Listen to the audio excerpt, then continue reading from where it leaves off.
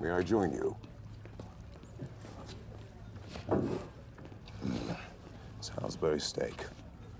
They are often served this in the SGC mess hall.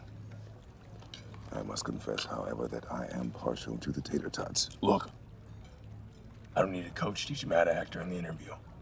I've dealt with the IOA before.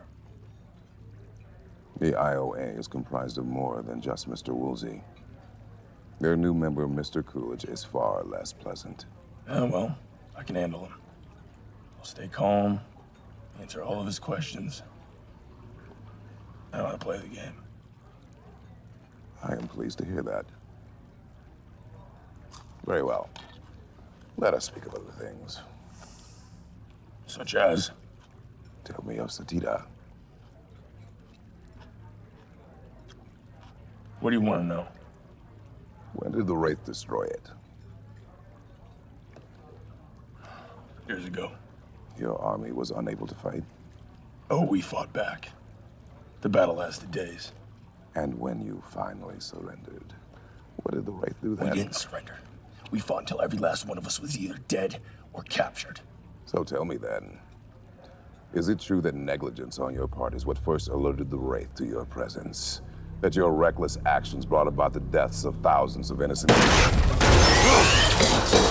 That's a lie! Indeed it is. Yet, should such a question arise during your interview, I trust you will not respond in a similar manner. You do, after all, know how to play the game. Ronon! Put the gun away.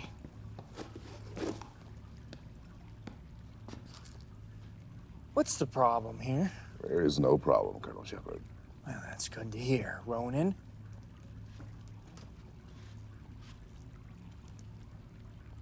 All right. Why don't you take Teal'c down to the gym and show him your fighting techniques? I'm sure you guys could give each other a few tips.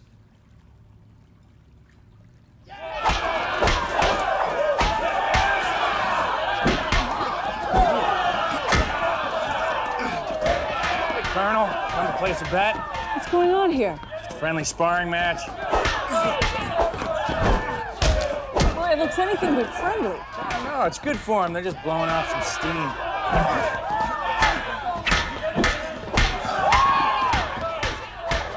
How long have they been at it? About an hour or so. An hour? Not even taking any breaks. Well, they are now. I don't think that's such a good idea. Okay, that's enough!